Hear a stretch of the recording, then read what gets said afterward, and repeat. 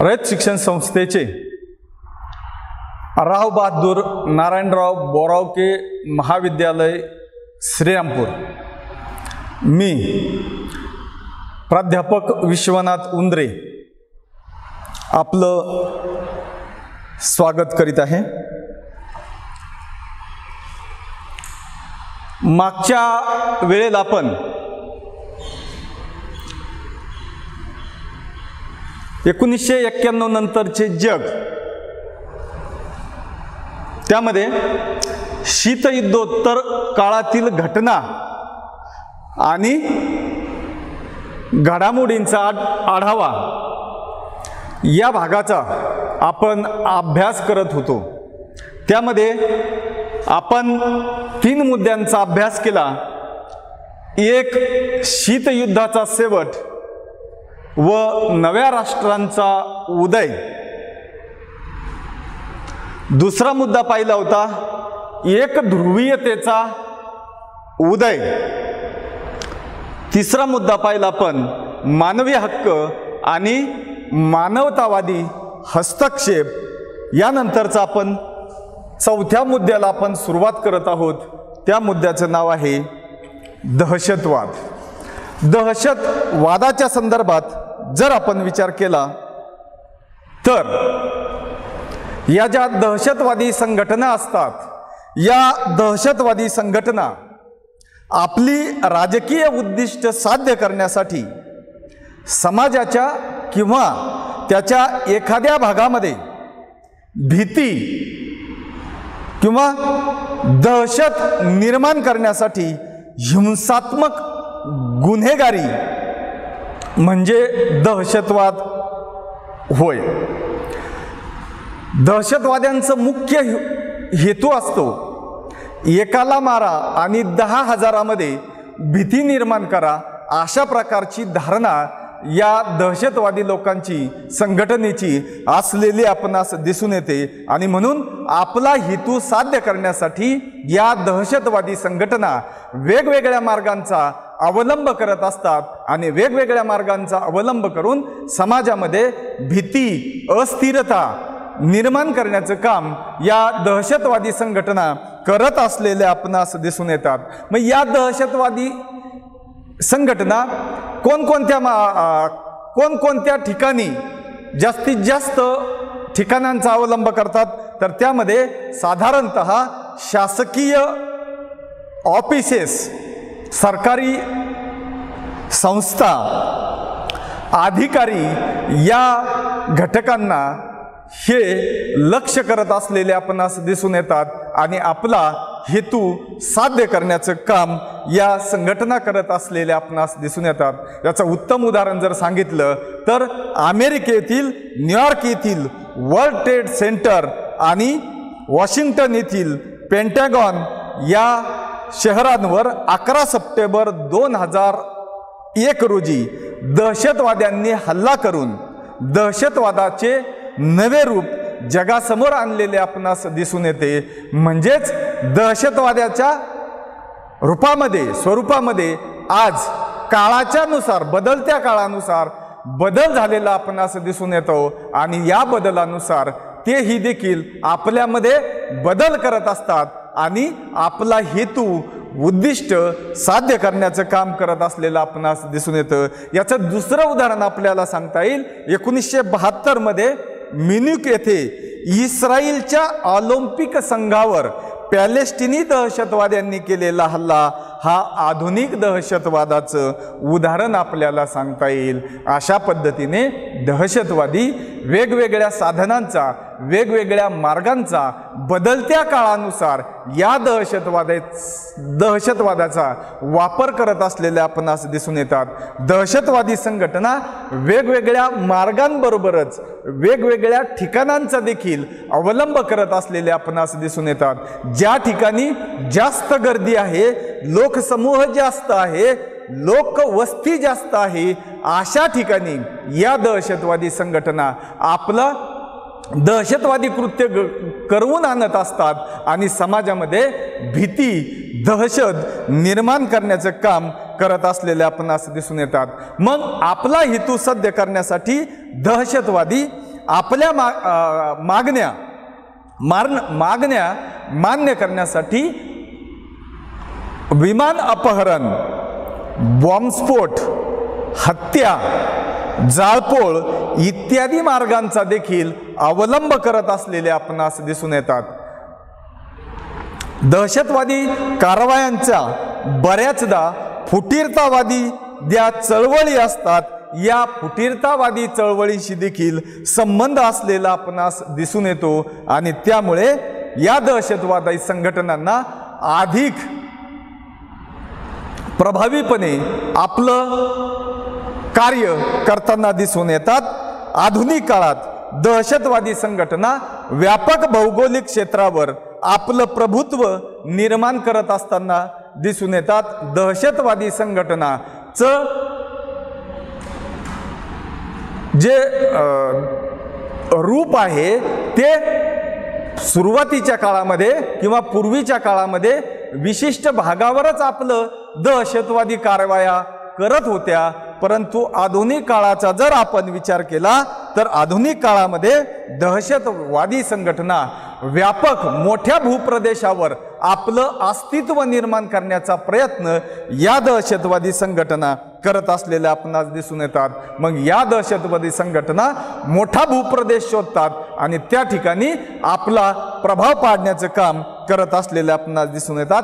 त्याचबरोबर या संघटना विशिष्ट धार्मिक विचारश्रेणीने विचारसरणीने प्रेरित झालेल्या आपणास दिसून येतात. खरं तर दहशतवादी संघटनांना धर्म किंवा जात हा घटक मुख्य नसतो तर त्यांचा हेतू असतो आणि तो हेतू साध्य करण्यासाठी कोणत्याही मार्गांचा अवलंब करत असतात. मग या दहशतवादी संघटना धार्मिक विचारसरणीने प्रेरित झालेल्या असतात आणि धार्मिक विचारसरणीने प्रेरित झालेल्या असल्यामुळे ते समोर कोणतीही व्यक्ती असो त्या व्यक्तीवर ते हल्ला करत असलेले आपणास दिसून येतात आणि अशी ध्येयता साध्य करण्यासाठी दहशतवादी वेगवेगळी विविध प्रकारची हल्ले घडवून आणताना आपणास दिसून येतात. याचं उदाहरण जर सांगितलं तर नऊ अकराचा झालेला हल्ला नऊ अकराला अमेरिकेवरील हल्ला दोन हजार दोनमध्ये बाली या ठिकाणी झालेला हल्ला दोन हजार चार माद्रिदला झालेला हल्ला दोन हजार पाच इंग्लंडमधील हल्ला दोन हजार आठ मुंबईतील साखळी स्फोट इत्यादी ठिकाणी दहशतवाद्यांनी आपले हल्ले घडवून आणलेले आपणास दिसून येतात आणि आपलं अस्तित्व दाखवण्याचं काम या दहशतवादी संघटना करत असलेल्या आपणास दिसून येतात. त्यानंतरचा शीतयुद्धोत्तर काळातील पाचवा मुद्दा जरा पाहणार आहोत बहुध्रुवीयता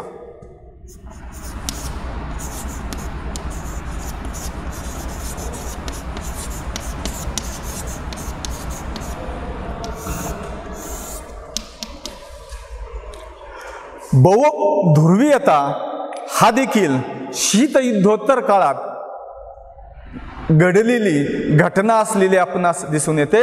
कारण शीतयुद्धानंतर दोन महासत्तांमध्ये संघर्ष होता अमेरिका आणि सोव्हिएत रशिया. अमेरिकेने आपलं अस्तित्व सिद्ध केलं सोव्हिएत युनियनचं.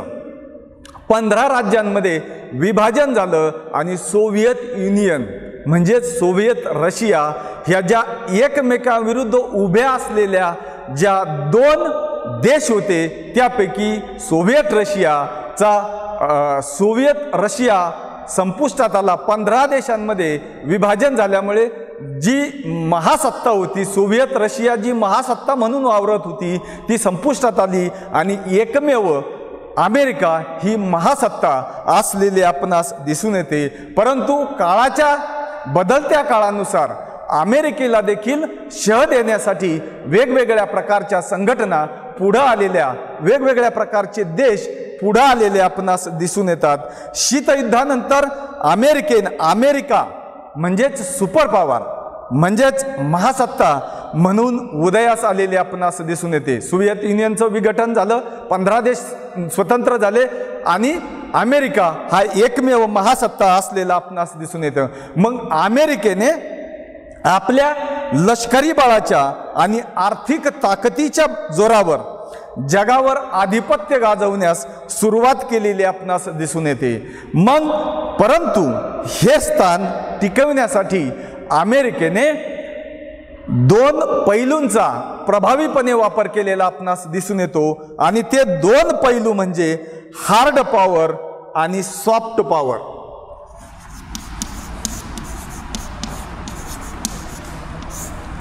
हार्ड पॉवर आणि सॉफ्ट पॉवर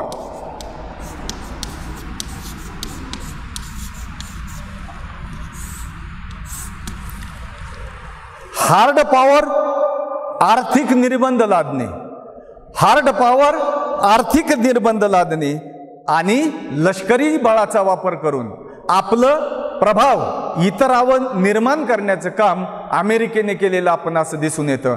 दुसरा पैलू आहे सॉफ्ट पॉवर सॉफ्ट पॉवरचा जर आपण विचार केला तर देशाची प्रतिष्ठा सांस्कृतिक प्रभाव आणि परंपरा या माध्यमातून देखील अमेरिकेने दुसऱ्या देशांवर आपला प्रभाव पाडण्याचं काम या ठिकाणी केलेलं आपणास दिसून येतं. आणि म्हणून अमेरिका हा जगावर आपलं अस्तित्व प्रभाव निर्माण करण्याचं काम अमेरिकेने केलेलं आपणास दिसून येतात. म्हणून म्हणजेच अमेरिकेने जगावर आपला प्रभाव पाडण्यासाठी एकमेव महासत्ता राहण्यासाठी वेगवेगळ्या मार्गांचा अवलंब केला. त्यातच सॉफ्ट पाव हार्ड पॉवर आणि सॉफ्ट पॉवर हा घटक देखील तितकाच महत्त्वाचा असलेला आपणास दिसून येतो. परंतु अलीकडच्या काळात अमेरिकेला शह देण्यासाठी युरोपियन युनियन भारत चीन जपान आणि रशिया या देशांकडून देखील अमेरिकेच्या अस्तित्वाला आव्हान देण्याचं काम सुरू झालेलं आपणास दिसून येतं. आणि त्यामुळे एक ध्रुवीय जागतिक व्यवस्थेचं रूपांतर बहुध्रुवीय जागतिक व्यवस्थेत झालेलं आपणास दिसून येतं. म्हणजेच अमेरिका जेवढी प्रबळ आहे या प्रबळ महासत्तेला भारत चीन जपान आणि रशिया या देशांनी देखील आपलं अस्तित्व सिद्ध करण्याचा प्रयत्न केल्यामुळे एक ध्रुवीय व्यवस्थेकडून बहुध्रुवीय व्यवस्थेकडे वा वाटचाल होते की काय अशा प्रकारचं वातावरण निर्माण झालेलं आपणास दिसून येतं.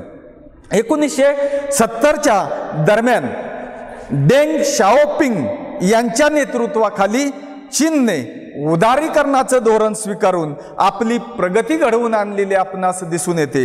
मग त्यातच वन बेल्ट वन रोड आणि चीन पाकिस्तान आर्थिक कॅरिडोअर या प्रकल्पाद्वारे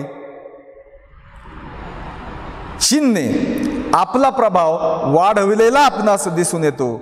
त्यातच द मध्य आशिया आणि पूर्व आशिया या प्रदेशावर देखील अस्तित्व वर्चस्व गाजविण्यास सुरुवात चीनने सुरुवात केलेली आपणास दिसून येते. अमेरिकेला जसं जेवढ्या प्रमाणात शह देता येईल तेवढ्याच प्रमाणात इतरांना देखील आपलं अस्तित्व सिद्ध करण्याचा प्रयत्न या ठिकाणी केलेला दिसून येतो. आणि म्हणून दक्षिण चीन सागरावर हक्क प्रस्थापित करण्यासाठी चीन चीनने नौदल आणि वायुदल भक्कम तयार केलेलं आपणास दिसून येतं. आणि अमेरिकेच्या अस्तित्वाला धक्का देण्याचं काम या ठिकाणी सुरू असलेलं आपणास दिसून येतं. आणखी पुढे जर आपण गेलो तर आपल्या असं लक्षात येईल की रशियाचे अध्यक्ष व्लादिमीर पुतीनच्या काळामध्ये रशिया तेल आणि वायू निर्मितीच्या क्षेत्रामध्ये महासत्ता म्हणून आपला प्रभाव वाढविलेला आपणास दिसून येतो आणि आपला प्रभाव वाढविल्यामुळे साहजिकच अमेरिकेला आणखी एक शह देण्याचं काम रशियाने सुरू केलेलं आपणास दिसून येतं. त्याचबरोबर आर्थिक स्थैर्यामुळे तेथे लष्कराचा देखील प्रभाव वाढला. शांघाय कोऑपरेशन ऑर्गनायझेशनचा संस्थापक सदस्य असल्यामुळे रशियाने आपला प्रभाव टिकवून ठेवलेला आपणास दिसून येतो. सध्याच्या काळात चीन आणि भारताची होत असलेली आर्थिक वृद्धी त्याचबरोबर एशियनचे वाढलेले महत्त्व पॅसिफिक प्रदेशात अमेरिकेला असलेला रस यामुळे इंडो पॅसिफिक प्रदेशाचे महत्त्व देखील वाढलेले आपणास दिसून येते. आणि भविष्यात भारत यात महत्त्वाची भूमिका पार पाडेल अशा प्रकारची परिस्थिती आज निर्माण झालेली आपणास दिसून येते. अशा पद्धतीने अमेरिकेला शह देण्यासाठी अमेरिकेला शह देण्यासाठी भारत चीन आणि रशिया या देशांनी देखील चीनच्या अस्तित्वाला धक्का दिलेला आपणास दिसून येतो आणि एक ध्रुवीय व्यवस्थेचं रूपांतर बहुध्रुवीय व्यवस्थेकडे होत असलेलं आपणास दिसून येतं. त्यातला सहावा मुद्दा आहे प्रादेशिकतावाद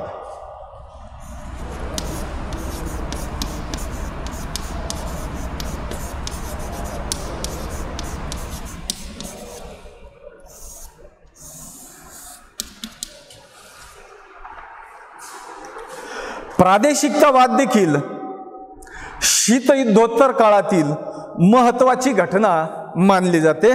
प्रादेशिकतावाद हा आंतरराष्ट्रीय अभ्यासातील महत्त्वाचा विषय असलेला आपण असं दिसून येतो. एखादी प्रादेशिक संघटना साधा आपण जर उदाहरण घेतलं एखादी संघटना जर आपल्याला स्थापन करावायची असेल तर ती संघटना स्थापन करण्यासाठी सारख्या विचाराचे लोक एकत्र यावे लागतात. आणि उद्दिष्ट देखील त्यांचं सारखं असावं लागतं. तर ती संघटना स्थापन होत असते. तशाच प्रकारे आंतरराष्ट्रीय पातळीचा जर आपण विचार केला तर आंतरराष्ट्रीय पातळीवर एखादी संघटना निर्माण करण्यासाठी अनेक देश एकत्र येत असतात. आणि ते देश त्यांचा हेतू त्यांची विचारसरणी सारखी असेल तर त्यामध्ये अधिक भर पडत असलेले आपणास दिसून येते. या संघटना भौगोलिक तत्वावर किंवा समान राजकीय वैचारिक घटका वैचारिक आणि आर्थिक घटकांवर आधारलेल्या असलेल्या आपणास दिसून येतात. सहजासहजी कुठलीही संघटना स्थापन होत नाही आणि सहजासहजी संघटना स्थापन होत नसल्यामुळे ज्या संघटना स्थापन होत असतात या संघटना कायमस्वरूपी टिकणारे असतात. आणि कायमस्वरूपी टिकून आपलं अस्तित्व आपलं प्रभाव निर्माण करण्याचं काम करत असलेले आपणास दिसून येतात. अशा संघटना बांधत असताना भौगोलिक समानता आणि व्यावहारिक संसाधनं याचा देखील विचार केला जात असतो. संसाधनांच्या संदर्भात जर आपण विचार केला तर दळणवळणाची साधनं ऊर्जा स्रोत मिळणारी जे ऊर्जेची जी साधनं आहेत त्याचा आणि आरोग्य व्यवस्था हे घटक देखील त्यात महत्त्वाचे असलेले आपणास दिसून येते.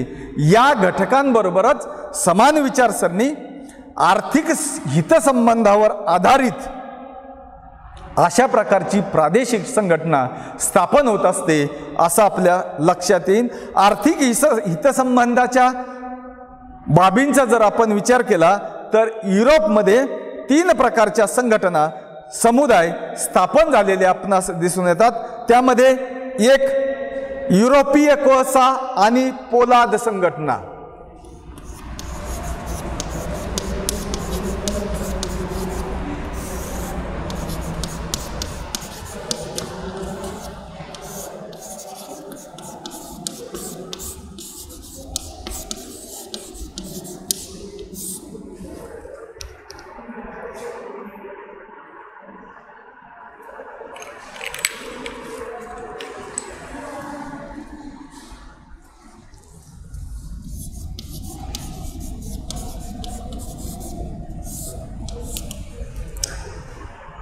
एकोणीसशे एक्कावन्नमध्ये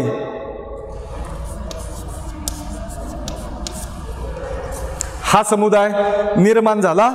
त्यानंतर दुसरा आहे युरोपीय आर्थिक समुदाय.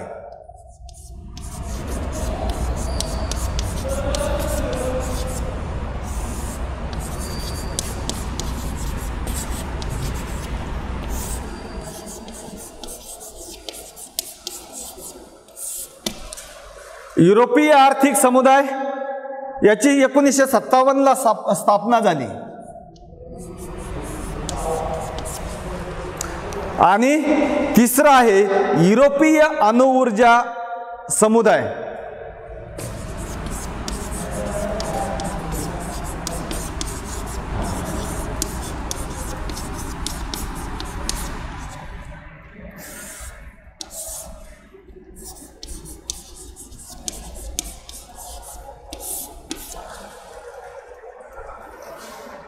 एकोणीसशे अठ्ठावन्न. ची स्थापना झाली आणि आपला प्रभाव या ठिकाणी वाढवण्याचं काम केलेलं आपण असं दिसून येतं. त्यानंतरच्या काळा काळाचा जर आपण विचार करणार तर एकोणीसशे साठच्या सुमारास प्रादेशिक सहकार्याच्या संकल्पनेचा आशिया खंडामध्ये प्रसार झालेला आपणास दिसून येतो. एकोणीसशे सदुसष्टमध्ये एशियन दक्षिण पूर्व आशियाई राष्ट्रांची संघटना स्थापन झाली. या प्रादेशिक सहकार्यावर आधारित संघटनेची स्थापना झाली. एकोणीसशे एकोणपन्नासमध्ये NATO North Atlantic Treaty Organization या संरक्षण बाबीवर लक्ष केंद्रित करणाऱ्या संघटनेची स्थापना झालेली आपणास दिसून येते. त्याचबरोबर अनेक प्रादेशिक संघटनांनी व्यापारावर व्यापारावर लक्ष केंद्रित करून व्यापारी गट निर्माण केलेले आपणास दिसून येतात. म्हणजेच आपला प्रभाव इतरांवर निर्माण करण्यासाठी आपलं अस्तित्व सिद्ध करण्यासाठी प्रादेशिक पातळीवर आर्थिक घटक डोळ्यासमोर ठेवून संरक्षण हा घटक डोळ्यासमोर ठेवून आणि व्यापार हा मुद्दा नजरेसमोर ठेवून वेगवेगळ्या प्रकारच्या संघटना स्थापन झालेल्या आपणास दिसून येतात आणि त्या त्या परिस्थितीमध्ये या संघटना आपल्याला एकमेकांना सहकार्य करत असलेले आपणास दिसून येतात. आणि म्हणून या संघटनेची स्थापना झालेली आपणास दिसून येते. आता व्यापारी गट म्हणजे काय? व्यापारी गट म्हणजे काय? तर अनेक देश मिळून आपले आर्थिक हितसंबंध दृढ करण्यासाठी काही विशेष करार करण्यासाठी व्यापारी गट स्थापन होत असलेले आपणास दिसून येतात. सामान्यतः हे करार व्यापारी व्यापारामध्ये जे अडथळे येत असतात ते अडथळे कमी करण्यासाठी किंवा दूर करण्यासाठी अशा प्रकारचे गट तयार होत असलेले आपणास दिसून येतात. उदाहरणार्थ जकात. मग आयातीवरील जो कर लादला जातो तो कर कमी करण्यासाठी